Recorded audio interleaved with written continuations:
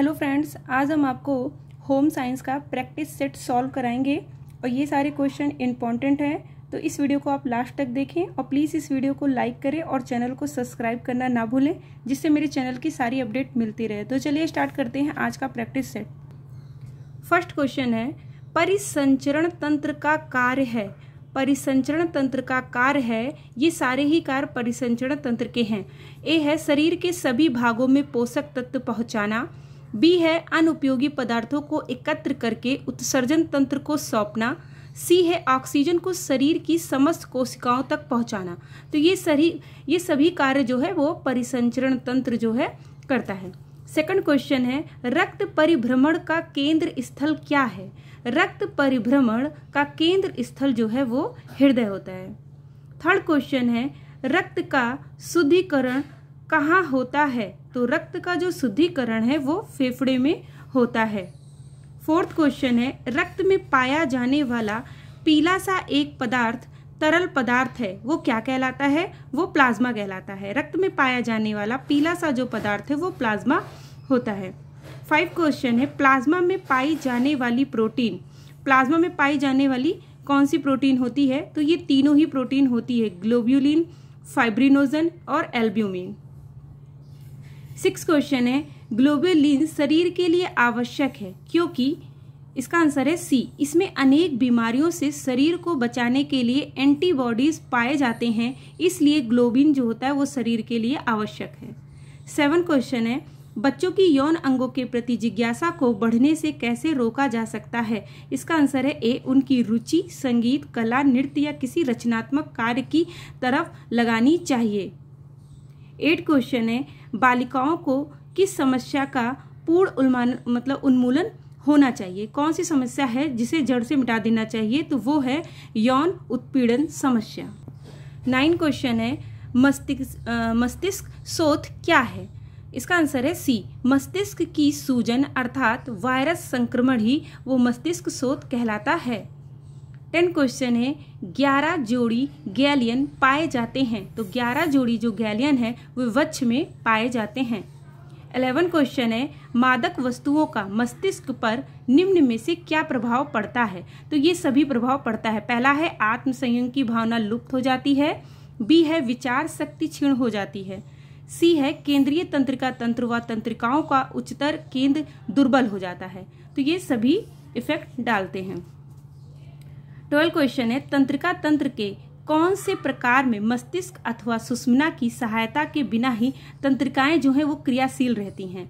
तो वो होती हैं स्वायत्त तंत्रिका तंत्र। इसमें क्या तंत्रिकाएँ जो होती हैं, वो स्वयं ही क्रियाशील होती हैं, स्वायत्त तंत्रिका तंत्र में?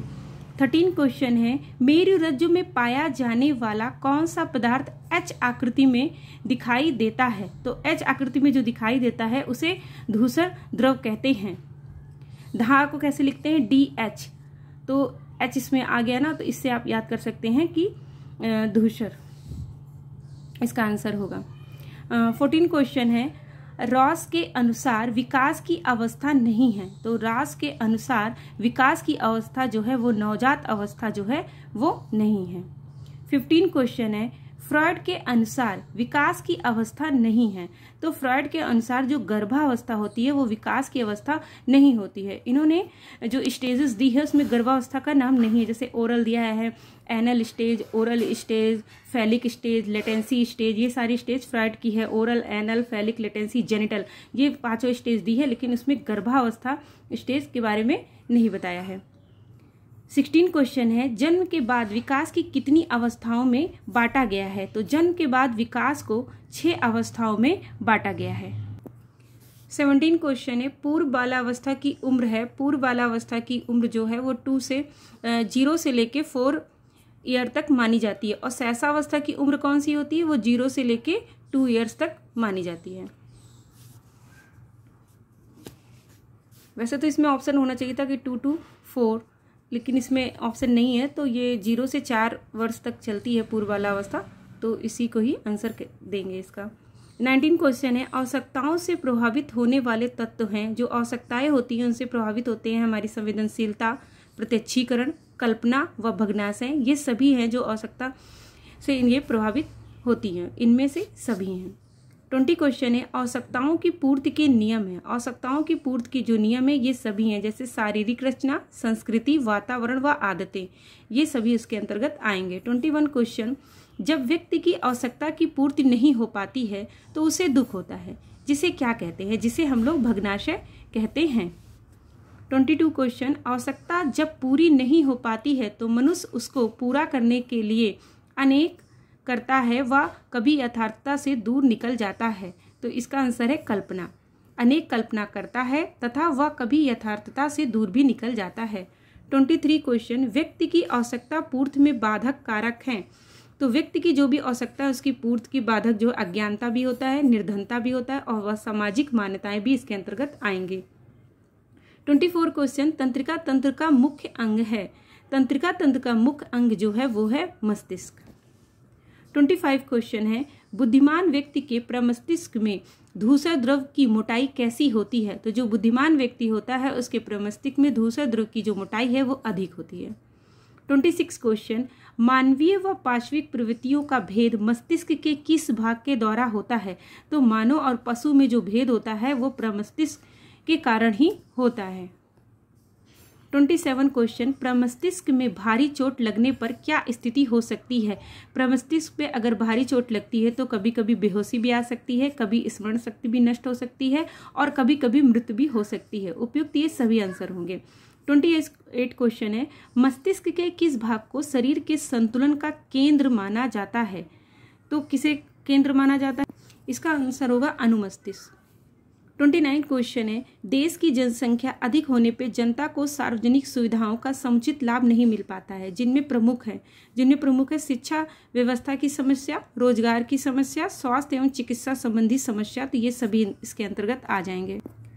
थर्टी क्वेश्चन है, जनसंख्या वृद्धि का पारिवारिक जीवन पर क्या प्रभाव पड़ता है? तो इसके आवास की समस्या, शिक्षा व चिकित्सा की समस्या, खाद्य सामग्री की समस्या, उपयुक्त सभी। थर्टी वन क्वेश्चन है, हमारे देश में जनसंख्या वृद्धि के कारण क्या है? तो उपयुक्त ये सभी है, विवाह बंधन की मान्यता, अशिक्षा व अंधविश्वास, विवाह की औसत आयु का कम होना, जिससे संतान उत्पत्ति के लिए एक लंबी अवधि मिलती है।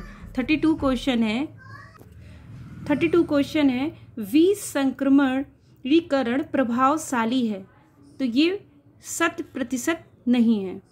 ये जो है वो शत प्रतिशत नहीं है। थर्टी थ्री का है, ऐसी नलिकाएँ जिसमें प्रया, अशुद्ध रुधिर बहता है, कपाट पाए जाते हैं तथा रक्त मंद गति से बहता है, को क्या कहते हैं? इसे सिरा कहते हैं।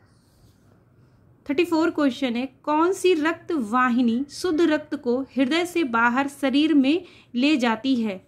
वो है महाधमनी। थर्टी फाइव क्वेश्चन है हृदय, वर्णी द्रव, वह द्रव है जो। इसका आंसर है उपयुक्त सभी। हृदय की दोहरी झिल्ली को तरल अथवा गीला रखता है। ये जो हृदय आवरण वाला द्रव है, वो क्या करता है? हृदय की दोहरी झिल्ली को तरल तथा गीला रखता है। हृदय की गति में भी ये सहायक होता है। हृदय को धक्कों या बाहरी आघातों से ये बचाता है। इसका आंसर है उपयुक्त सभी। थर्टी सिक्स क्वेश्चन है। हृदय के किस कोष्ठ की दीवार मोटी एवं दृढ़ होती है? तो हृदय के जो है, बाएँ नीले की जो दीवार होती है, वो मोटी होती है और दृढ़ होती है, बाएँ नीले की दीवार थर्टी सेवन है त्रिवलनी कपाट क्या है? या दाए अलिंद व निलय के बीच लगे रहते हैं। त्रिवलनी जो कपाट होते हैं, वो दाए अलिंद व निलय के बीच लगे रहते हैं। थर्टी एट क्वेश्चन है, रक्त में ऑक्सीजन की मात्रा कम होने पर वह लाल रंग, बैगनी रंग में परिवर्तित हो जाता है। इसका आंसर है सी थर्टी नाइन क्वेश्चन, कौन सी कड़िकाओं में हीमोग्लोबिन नहीं पाया जाता है? तो लाल रक्त कड़िका में पाया जाता है, प्लेटलेट्स में भी मिलता है, प्लाज्मा में भी पाया जाता है, लेकिन श्वेत रक्त कड़िका में हीमोग्लोबिन नहीं पाया जाता है। तो इसका आंसर होगा बी फोर्टी क्वेश्चन है न्यूट्रोफिल्स क्या है? न्यूट्रोफिल्स क्या है? इसका आंसर है ये सभी। या एक बार की श्वेत रक्त कड़िकाएँ हैं, एक प्रकार की क्या है? ये श्वेत रक्त कड़िकाएँ हैं न्यूट्रोफिल्स इनकी संख्या श्वेत रक्त कड़िका में सत्तर परसेंट तक होती है। सत्तर परसेंट क्या पाया जाता है? न्यूट्रोफिल्स डब्ल्यूबीसी में। इनका केंद्रक बहुरूपी होता है और इनका जो केंद्रक होता है वो बहुरूपी होता है न्यूट्रोफिल्स का। फोर्टी वन क्वेश्चन है कड़िका में श्वेत रक्त कड़िकाएँ हैं। कड़िका में श्वेत रक्त जो कड़िकाएँ हैं, वो होती हैं ए एसिनोफिल्स और बेसोफिल्स एंड यूट्रोफिल्स ये सभी जो हैं, वो कड़िका में श्वेत रक्त कड़िकाएँ होती हैं। उपयुक्त सभी। फोर्टी टू क्वेश्चन है, कौन सी कड़िका में कोशिका पारण की क्वालिटी पाई जाती है? तो डब्ल्यू बी सी में जो कोशिका पारण की जो क्वालिटी है वो पाई जाती है। फोर्टी थ्री न्यूरान कोशिका है। न्यूरान कैसी कोशिका है? क्षतिग्रस्त न्यूरान की पूर्ति असंभव है या आकार में बढ़ जाती है। इसकी आकृति अन्य कोशिकाओं से भिन्न होती है। तो उपयुक्त ये सभी सही हैं। फोर्टी फोर क्वेश्चन नारियों, नाड़ियों पर चढ़ा आवरण किस वसा युक्त पदार्थ के द्वारा निर्मित होता है? तो जो नाड़ियों पर चढ़ा जो आवरण होता है, वो माइलिन युक्त वसा युक्त पदार्थ से बना होता है। माइलिन वसा युक्त पदार्थ से बना होता है, नाड़ियों पर चढ़ा आवरण। फोर्टी फाइव क्वेश्चन है, संयुग्म क्या है? संयुग्म जो है, वो जब एक कोशिका के सूत्र, दूसरी कोशिका के सूत्र से संयुक्त नहीं हो पाते, तथा दोनों के बीच जो अंतर रह जाता है, वही संयुग्म कहलाता है। फोर्टी सिक्स क्वेश्चन, किस अवस्था के सामाजिक विकास में यौन विरोध की भावना पाई जाती है? तो यौन विरोध की जो भावना है, वो उत्तर बाल्यावस्था में पाई जाती है। फोर्टी सेवन क्वेश्चन है, निषेधात्मक किस अवस्था का सामाजिक व्यवहार है? निषेधात्मक जो है, वो पूर्व बाला अवस्था का एक सामाजिक व्यवहार है। फोर्टी एट क्वेश्चन काइम क्या है? काइम क्या होता है? काइम जो है, वो संकुचन एवं विमोचन। संकुचन एवं विमोचन क्रिया के द्वारा अमाशय भित्ति में, भोजन का लेय के रूप में में लेना ही ये कायम कहलाता है। जो भोजन अमाशय में लेई के रूप में रहता है, वो कायम कहलाता है। Forty nine question, lipase enzyme किस पर क्रिया करते हैं? लाइपेज एंजाइम वसा पर क्रिया करते हैं। फिफ्टी क्वेश्चन, इंसुलिन हार्मोन्स किस प्रकार किस बीमारी में प्रयोग किया जाता है? इंसुलिन जो हार्मोन्स है, वो डायबिटीज़ या मधुमेह में यूज़ किया जाता है। Fifty one question, rennin enzyme कौन से रस में पाया जाता है? रेनिन एंजाइम जठर रस में पाया जाता है।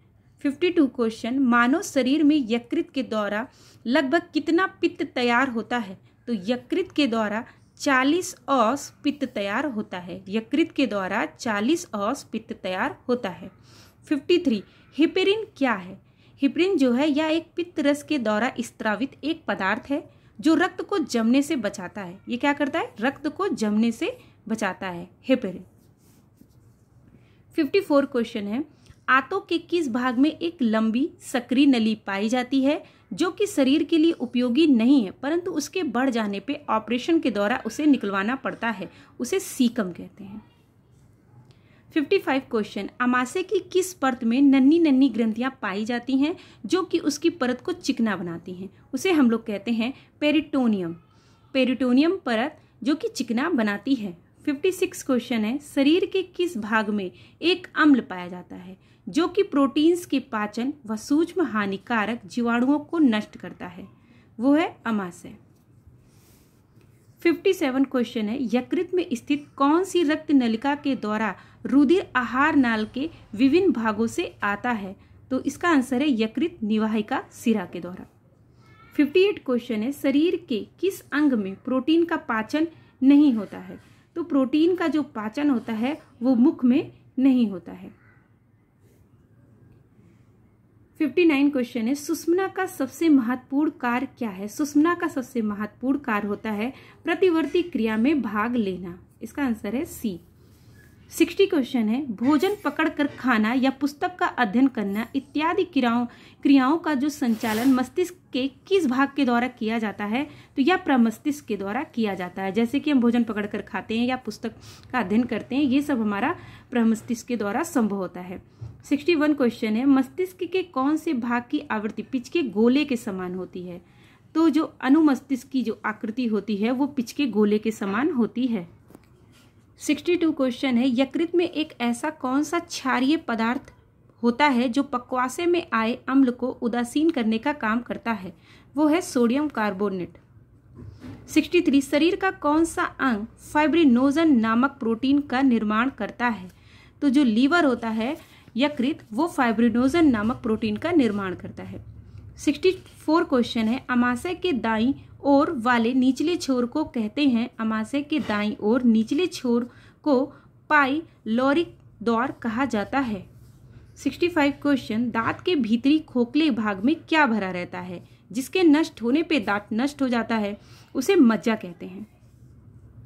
66 क्वेश्चन मुख्य लार ग्रंथि है। मुख्य जो लार ग्रंथि है, वो है पैरोटिड ग्रंथि। 67 जठर रस किस पौष्टिक तत्व की पाचन क्रिया में सहायता पहुंचाता है? तो जो जठर रस होता है, वो प्रोटीन्स के पाचन में सहायता पहुंचाता है।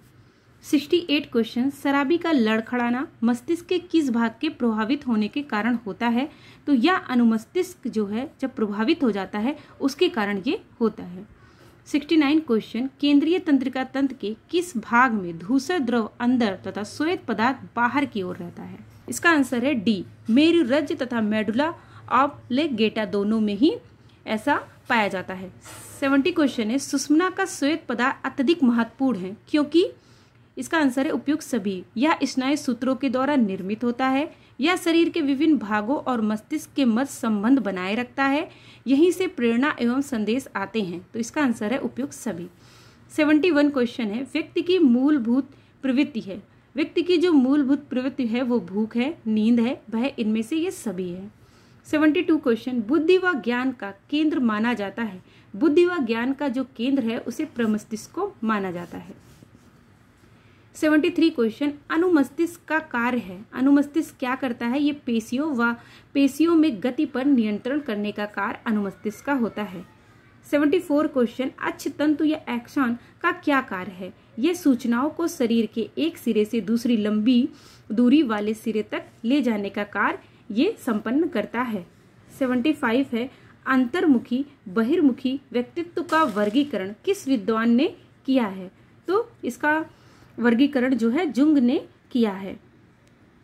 यहाँ पे मेरे 75 क्वेश्चन कंप्लीट हुए तो आप वीडियो को लाइक और चैनल को सब्सक्राइब करना ना भूलें, जिससे मैं जो भी वीडियो बनाऊँ वो आपको ईजिली मिल सके। Thank you